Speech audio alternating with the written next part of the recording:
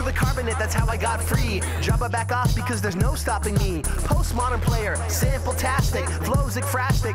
I get drastic. Hey, watch the plastic. Yo, I name check and leave you dra- Welcome to the MacGuffin, episode 151. We're drinking some rum. Mm-hmm. um, I'm Spencer. I'm Greg. Today, in honor of Moonrise Kingdom, we're going to be talking about summer camp movies. Yeah. You know, some of them are fun, Yes. some of them not so fun. Most of them in the 80s. Yeah, the 80s, they really, oh, there's some in the 90s too. Okay. You know, I was surprised. Like, I was thinking about that. I was like, wow, they really kind of dropped that as a theme. You know, Mm-hmm. summer camp was kind of a big deal. I think, you know, my theory, maybe the fact that summer camp seems to be like a dwindling medium. Like, I don't really know a lot of kids going to summer camp I anymore. think that combined with the fact that, as we'll obviously talk about, some of them have horror movies, dwindling medium plus horror movies being at them probably helps the dwindling. It probably doesn't help, but I don't know if I if I were going to summer camp if I would be too worried about, you know. But at the age that kids actually go to summer camp are the kind of age that they're going to be worried about things like They that. They don't get a say in that stuff. Their parents just force them. Come on. So we're gonna go back a ways in time, back to the uh, swinging '70s to get this thing started. Oh, started. that's right. Yes. It's the last year of the '70s. It still counts. and we're talking about Meatballs here. Mm-hmm. This is the Bill Murray uh, comedy, or at least he was in the first film of the franchise. It Yes. became like a four, five, six film Some yeah, franchise. like a lot of the 80s franchises. But you know, it's basically wacky hijinks of cancel- counselors and campers uh, one summer, um, particularly focused on Bill Murray Mm, sort mm-hmm. of mentoring a young kid, and the young kid sort of supporting Bill Murray in his romantic hijinks. Oh, I- hijinks. I think it's funny because the kid was uh, was it Chris Makepeace, if you remember him from Mm-hmm. My Bodyguard. Doesn't sound familiar. It's one of those hippie kids. Come on, Chris Makepeace. Does that not sound like No. him? Yeah. All right. Sorry. Anyway, um, I'll take your word for it. it's also notable that that- just that this is the first uh, film appearance with Bill Murray in a starring role. How about Oh, that? How about that for a knowledge bomb on you? fair enough, Yeah. Spencer. You Uh, you know, it's Meatballs is probably one of the most disposable ones Hmm. in the genre. Really, not a heck of a lot of depth to it. I mean, I guess there's some with the relationship between Makepeace and Murray, Hmm. where there's a little bit of guidance, but for the most part, it's really it set the template for like generic camp movies that follow. will that will touch on. Yes. Oh yeah. But you know, I like it. Started you know? the cliche of the wacky hijinks ensuing at the summer camp. I like this one, and I actually, um, it gets a little bit more ridiculous as the series goes on. I think like Corey Feldman was in like Meatballs Four, as I recall, which I actually kind of enjoy. You know, I just I like I like it. It's a fun thing. It's directed by Ivan Reitman though, so you can't go really wrong with that. I mean, dude did Ghostbusters. Yeah. Dude did Kindergarten Cop, Twins. Dave, Evolution, dude's been around for a All right, while. fair so, enough. You, know, You got me there. Good on you for that, Ivan Reitman. uh, we're gonna jump slightly forward into the '80s Uh huh. um, and go the opposite direction into the horror genre. Yes. With perhaps the greatest horror summer camp one of all time, which Yeah. is Friday the 13th. of course. Kids at a summer camp getting killed for their promiscuity. Yep. and uh, behavior. Setting up all those rules for Scream to then lampoon later. Yes. But it also, I think, the thing that needs to be noted, as Scream would talk about in their opening, was That that Jason wasn't the bad guy. the Yeah, Jason's one. not actually the bad guy, and I think that's why this is the by far my favorite of that series Mm-hmm. is because there's a complexity. Like this is a damaged woman who's running it this time, and getting you know, revenge for her child. and that kind of. right, and you know, there's it's not an unstoppable force. Yeah. Mm-hmm. in the first movie, like granted, it's sort of hints at that Yeah, as it ends, yeah. but you know, And it seems um, like it, but you know, it's not in in reality. No, and I- Jason Voorhees. And I think that's the scariest thing of all. Like, you know, an unstoppable force, yeah, that's scary, but I haven't really run into one of those in my real life. Like, maybe when I do, I'll be able to be like, you know what? Yeah. That is scary. But I you know, I like it and it's it's kind of funny to think about. Let me let me drop a little bit of uh trivia for okay. you. Okay. Um, this film was nominated for two awards. I'm gonna guess special effects. No, Oh. Okay. you're going you're going like the good awards. Oh, This- Razzies. yeah, Oh, this was okay. nominated for worst picture and Oh. worst actress for Betsy Palmer, Nice. who played uh, was it Mrs. Voorhees. Nice. It's funny to think about them crapping on a film that has become like a beloved classic and like an institution for Yeah. a fran- like you know horror going Mm-hmm. forward. So it's funny to think, you know, I, I wonder, you know, they have a 2020 awards for the Academy Awards where you look back on the Academy Awards 20 years in the past Mm. Okay. and re-vote. Okay. Um, kind of feel like you know after the last few weeks and some of the Razzies we mentioned, maybe we need to reevaluate what are getting Razzies Mm. because I don't I don't think I would include Friday the Thirteenth in the conversation. Granted, it's not like you know Schindler's List or Yeah, I was something, say it's not necessarily good either. but it's it's a very interesting and entertaining film. Like I'm not gonna I'm not gonna crap on it. Okay. So suck on that Razzies. Fair enough. One of my favorite camp movies, one Mm. that inspired me personally, was 1986's Space Camp. Oh God, that atrocity. Oh, it's awesome, Oh. How can how can you go wrong when you have like a sweet female cast of Kate Capshaw, Lea Thompson, and Kelly Preston? I can tell you how. You make a movie about going to space. No, That that's awesome. that comes out what six months after yeah, Challenger that, that yeah, that's that Yeah. that was just unfortunate timing. Like that ended up being a disaster because of that. But you know, dude, I don't think it think just about that. became a disaster because of that. Oh, I totally believe that. Listen, Joaquin Phoenix, like breaking out in this film, even though he's credited as Leaf Phoenix, I believe. You have robots. You get to go to outer space as a kid, dude. This is like the coolest thing ever. Like I was a kid, I wanted to go space camp. Granted, I broke my arm. Didn't, didn't get to go. It's a real tragedy that scarred me in my life. But like, come on, man, that would be awesome. You have Tate Donovan and Tom Skerritt. Like this thing, this thing's awesome. You know how awesome this film is? It is Terry O'Quinn as the launch director. All right, okay, you got me there. That is freaking awesome, dude. Like, I just want to go home. I'm gonna rent it like right now when I leave Scarecrow and go watch it because that is how awesome I'm into this film. And the director Harry Weiner or Harry Winner, um, really didn't do a heck of a lot of other stuff besides TV, but he did direct House Arrest. If you remember that film with like, uh, was it Jamie Lee Curtis? I think Kevin Pollak, where the kids Yes. lock their parents in the basement. Yes, I do That- remember that movie. That's him as well. Dude deserves more right. I I'm I'm all on. I'm all in. Uh, shit, this makes me want to go to space now. Like, I want to go to space, but not the way that '80s space oh, movies dude, sent me. To I want to go. To, I want to go to space in like uh, uh, a rocket with a robot. Like that would be like my dream. Like I'm not even a kid anymore, and that would still be awesome. I'm totally. I'm to- Totally on board with it. Sadly, you're right. Uh, yeah. A flop, bad timing. It's sort of like, you know, uh, was it Collateral? Collateral Damage. Oh, the uh, yes. Schwarzenegger film that came out right after like 9/11. Yes. That was about terrorism. Yeah. Sometimes you get screwed, man. They made this film well before the Challenger blew up. What are you gonna do? Like put it on the shelf for like four years? Like how long Yeah. is enough? How long is enough? win is win.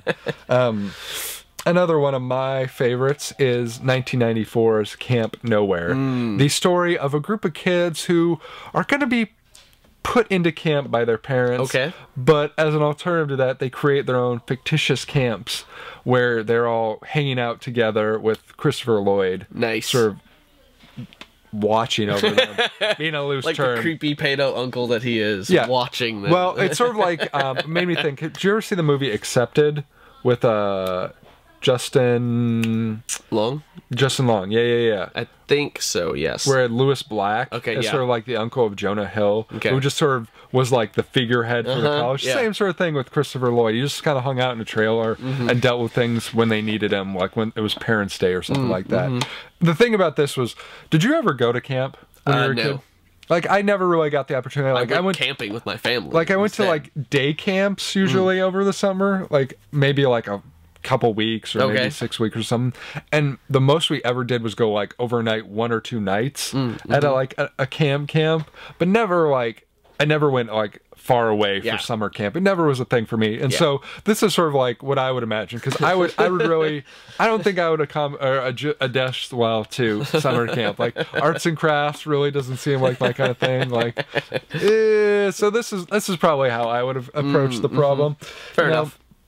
It's a it's a fun film, you know. Mm. It's definitely got you know some people who are like Andrew Keegan and Jonathan Jackson who kind of went on to be Mm-hmm. modest successes, but you know I I, I like it. I think it's Mm-hmm. fun to sort of like think about what would happen if a bunch of kids, sort of like the inmates running an asylum. I love that kind of stuff. fair enough. Yeah, I love Fair it. enough, I love it.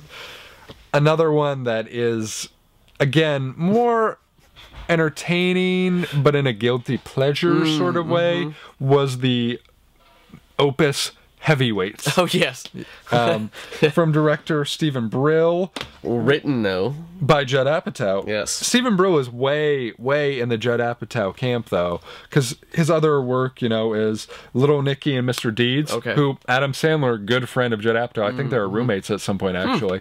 Um, and Drillbit Taylor, which was produced by Judd Apatow as well.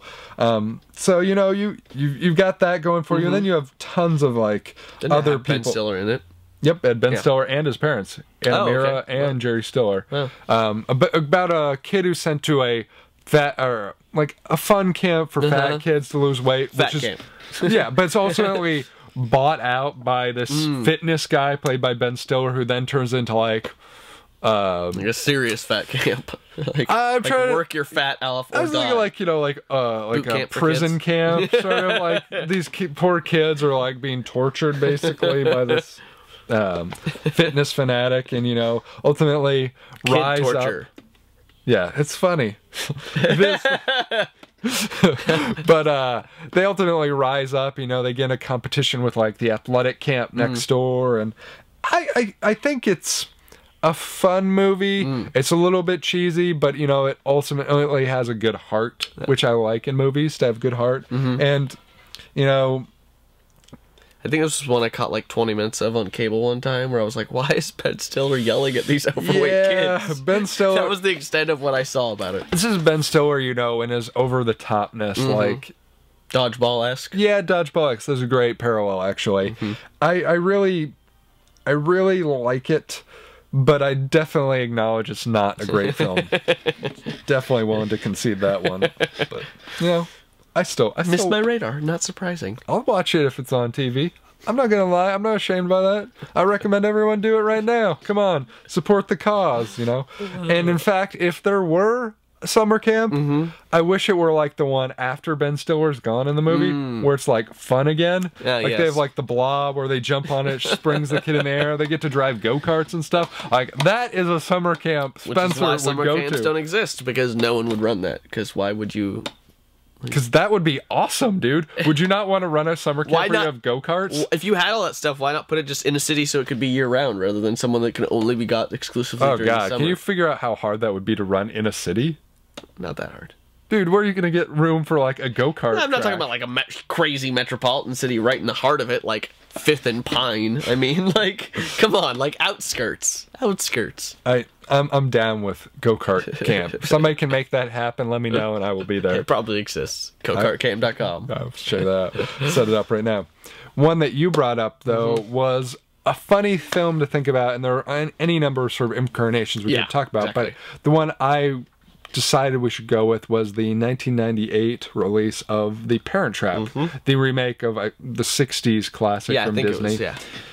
you know, the thing about this that made me want to talk about it was this is early, early Lindsay Lohan. Like under under 15. oh yeah, totally. like maybe And under 10. This is like Lindsay Lohan paired with was it Natasha Richardson and Oh, yes, that's uh, right. Dennis Quaid. So you know these are good parent actors to play, and you know I really really liked Lindsay Lohan as a young actor. I think actress. Yeah.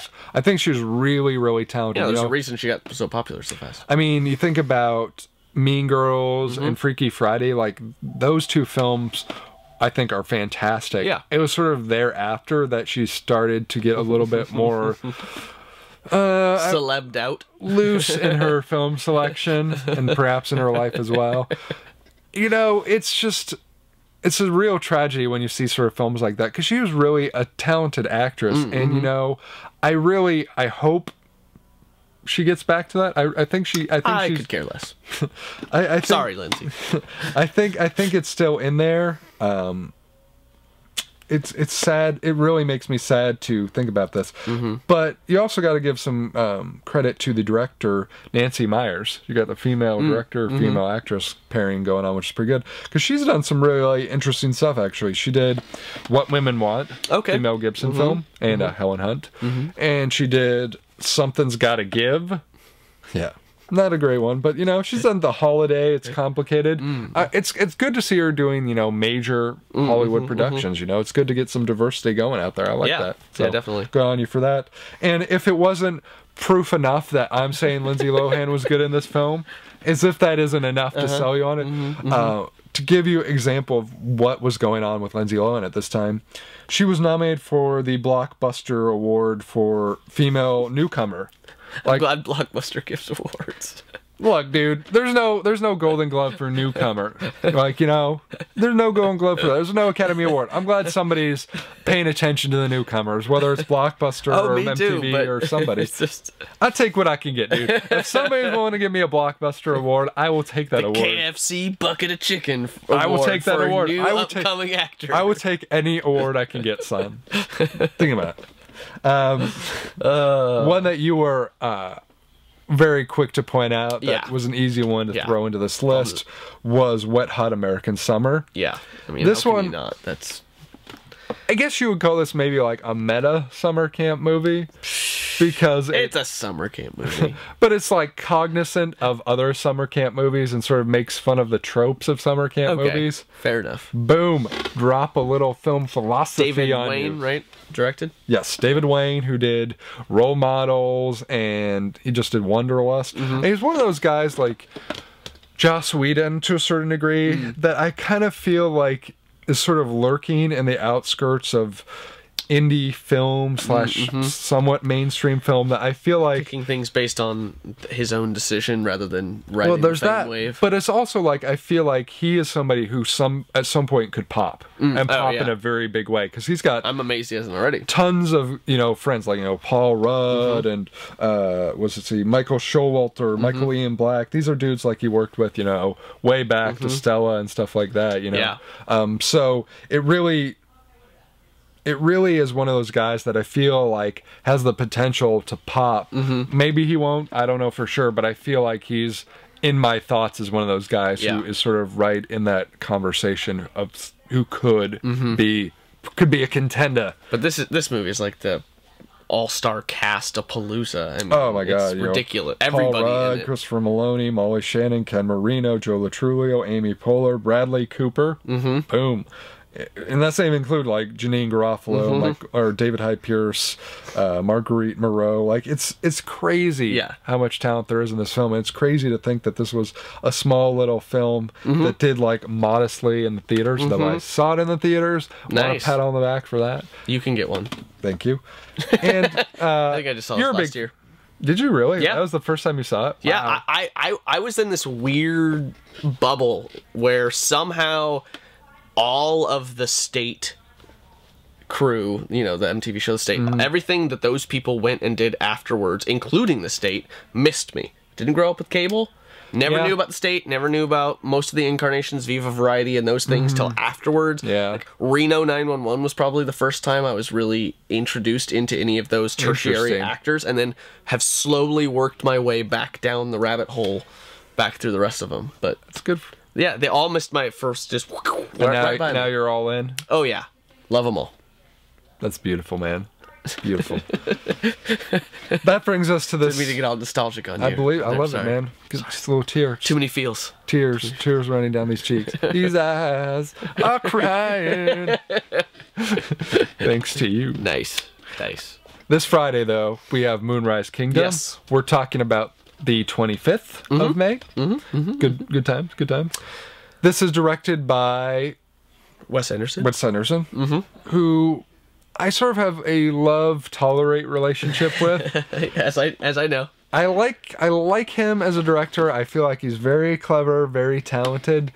I just wish he would try and do different stuff. I do agree with you there. Like he he However, if him not doing different stuff doesn't make me like his actual stuff any less. no, I me mm, Yeah, mm, see, but I think that's more mm, you fall. But it's like you know, Where every time one comes out that looks like another Wes Anderson movie, I see you going, eh, just a little bit. it's like it's like Michael Cera. You know, I Mm. love Michael Cera. I can't really fault him for playing the same role every time because he does it so well. Mm-hmm. But I wish he'd do something different. It's like Mm. Jesse Eisenberg. He was just like Michael Cera that way, but then he did The Social Network. And it blew my top off. Like I was blown away by that. I just and it goes the same is true for Wes Anderson. You know, mm-hmm. Fantastic Mr. Fox. I love. He did. Mm-hmm. It was totally different. Why can't he try and do more stuff like that? Why can't he do something more? Do a horror film. Come on, Wes. Like I'll, I'll throw you ideas. Like honestly, I will help you out. Help me help you. Mm. Help me help you. But see, I don't mind his his you know He does it his- well. his like I can't, I can't fault like him. It. I just, I wish after like six or seven films or whatever we're at now, like Mm-hmm. do something different. That being said, though, It looks interesting. You know, it's it's uh got the same great cast as always. You know, Bill Murray. You got uh some great supporting roles from uh Bruce Willis, Edward Norton, Tilda Swinton, Frances McDormand, Jason Schwartzman is back. You know, it's about two young kids at neighboring summer camps Yeah. who fall in love and then proceed to run away, Yes. and all the adults that proceed to chase after them. Yeah, and so I see what happened. I'm curious to see how much that the film is going to be split between those two major arcs. If it's going to be like. If it's going to be 50 50, if it's going to be very, very little kids, most adults, if it's going to be the other way around, where it's going to be mostly kids, very little uh. adults, I really don't know. And I think that for me is going to be the major make or break of. I am curious movie. about that. I tend to think it's going to be more adults pursuing the kids just Mm-hmm. because, you know, there's so many talented adult actors, and I find it hard to believe that, you know, Bruce Willis is just going to show up for like two minutes. But No, yeah, that's why I think I think it's probably going to be like uh, maybe like a one third, two third kind of thing, like a third with the kids, two thirds with the adults. Close. I mean, don't get me wrong. I'm definitely going to go see it. I'm totally in. Mm-hmm. Uh, Wes Anderson, just.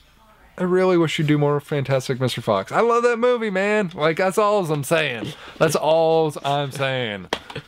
Spencer wants more animation. I say anything, dude. Like I don't even need it. Horror films, sci-fi films, like sports films, like anything, dude. I will see anything you make. Anything. Just do it. Just do it. Like Nike. don't do it like Nike. That's Yeah, no sweatshops. That's not cool.